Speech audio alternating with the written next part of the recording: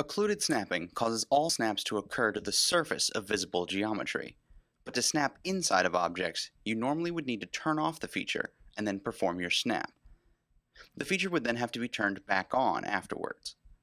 However, in conjunction with X-Ray Select, there's an easy way to switch between snapping only to the outside of objects as well as snapping inside of them. In this example, we have a few small objects snapped to the outside of a larger object.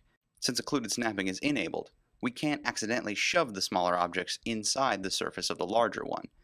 But if we want to move an object inside of the larger object, we can grab a small object first, then invoke X-Ray Select, and place the object inside or grab an object already within, then snap to another location entirely.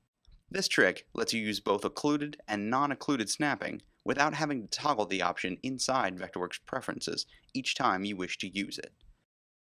Thank you for joining us, and don't forget to visit kbase.vectorworks.net for other video tech tips and other technical articles. Thank you, and have a great day.